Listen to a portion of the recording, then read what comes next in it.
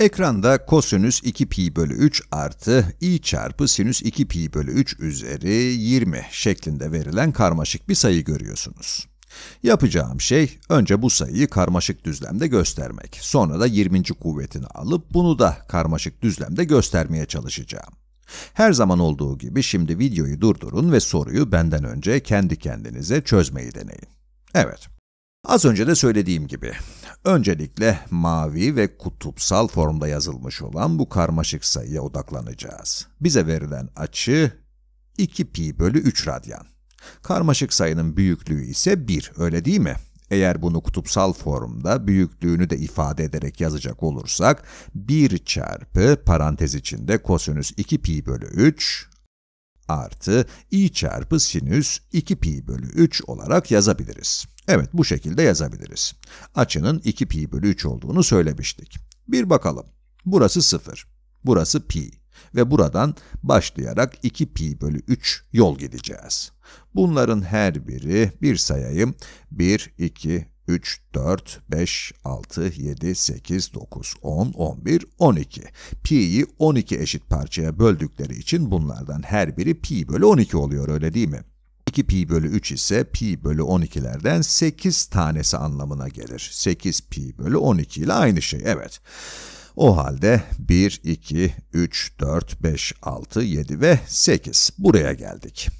Bunu nasıl yaptığımı tam olarak anlayamadıysanız şöyle göstereyim. 2 pi bölü 3, 8 pi bölü 12'ye eşittir öyle değil mi? Buradaki parçalardan her biri de pi bölü 12 olduğu için 8 tane saymam yeterli oldu. Evet, maviyle yazılmış karmaşık sayıyı gösterdik. Sıra 20. kuvvetinde.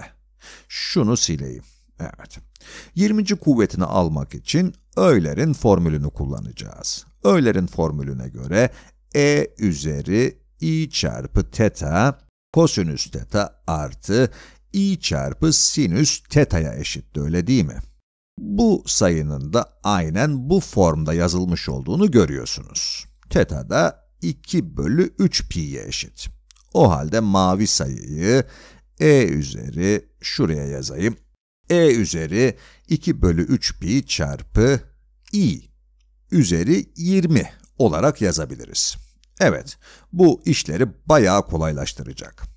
Kısacası eğer bu sayının 20. kuvvetini almaya çalışsaydım, yani bunu kendisiyle 20 defa çarpsaydım, işin içinden çıkamazdım öyle değil mi? Ama sayıyı bu şekilde ifade edince, üstel özelliklerden faydalanabileceğim için her şey çok daha kolay olacak. Evet, eşittir. Eğer bir sayının üssünün üssünü alıyorsak, kuvvetleri birbiriyle çarpabiliriz öyle değil mi? E hadi o zaman e üzeri 20 çarpı 2 bölü 3 pi çarpı i. Bu e üzeri 40 bölü 3 pi çarpı i eder. Bu sayının 20. kuvvetini aldık ama elde ettiğimiz açı sizce de gayet büyük öyle değil mi? Yani 40 bölü 3 pi. 40 bölü 3, 13 tam 1 bölü 3 eder.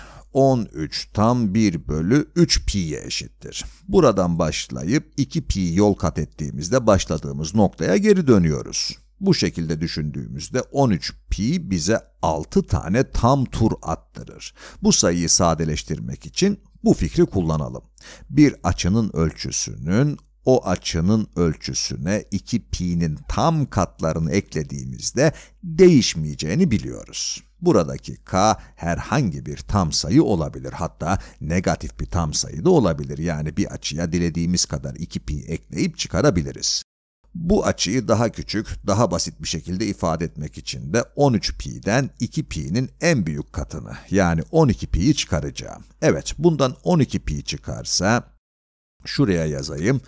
13'tan 1 bölü 3 pi eksi 12 pi'nin 13 pi'den çıkarabileceğim en büyük katı yani 12 pi.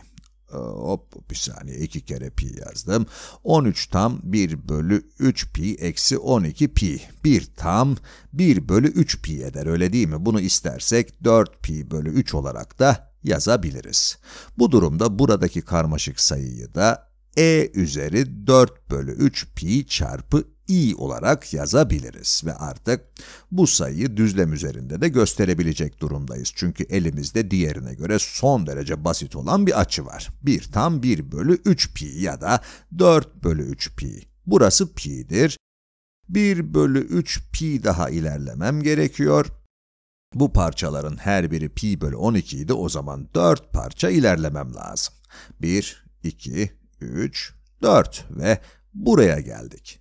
Bu sayının 20. kuvvetini aldık, sadeleştirdik ve buradaki sayıyı elde ettik. Peki eğer bu sayının 21. kuvvetini alsaydık ne olurdu? Bu açının 2 pi bölü 3 ya da 8 pi bölü 12 büyümesi anlamına gelirdi. Ve 1, 2, 3, 4, 5, 6, 7, 8 saydığımızda da buraya gelirdik. Bunun kavramsal olarak ne anlama geldiğini merak ediyorsanız, üssü 1 olduğunda yani mavi ile yazılmış sayı burada. İkinci kuvvetini aldığımızda açıyı 2 pi bölü 3 arttırıp buraya geliyoruz. Üçüncü kuvvetinde bir 2 pi bölü 3 daha arttırıp buraya. Dördüncü kuvvetinde buraya. Beşinci, altıncı, yedinci, sekizinci, dokuzuncu, onuncu, on birinci, on ikinci, on üçüncü, on dördüncü, on beşinci, on altıncı, on yedinci, on sekizinci ve on dokuzuncu ve yirmincisinde de buraya gelmiş oluyoruz.